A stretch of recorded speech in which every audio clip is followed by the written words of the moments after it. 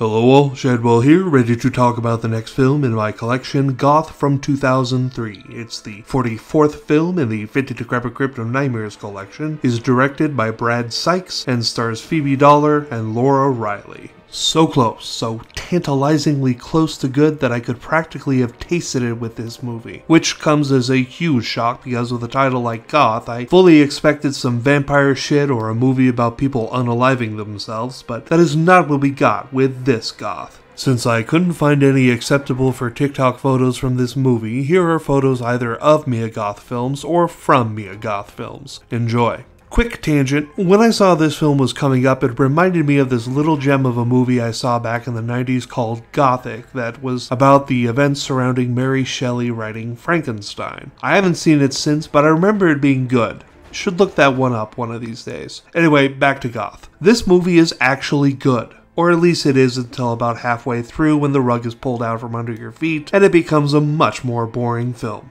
The first half is decent. Two lovers living the goth lifestyle bump into a similar minded woman named Goth who saves them from muggers and suggests they all do drugs to celebrate. Then kidnaps them and takes them on a journey into sadism and madness across the city, all in the interest of finding out if they're true hardcore goths or not. Spoiler alert, one of them isn't. Then at around the halfway point, we discover that they're along for the ride because one believes Goth killed her sister and she wants revenge.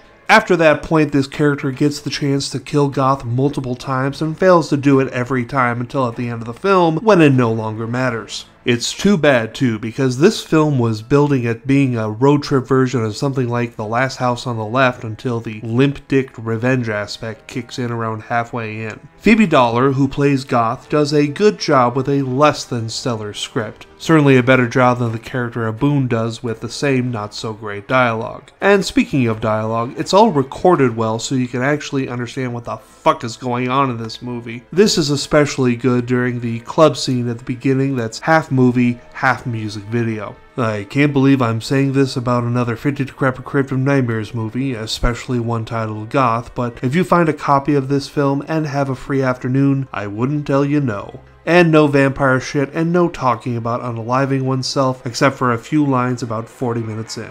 I'm giving Goth a C. Tomorrow we watch the sequel to Blade Runner, Blade Runner 2049. See y'all then.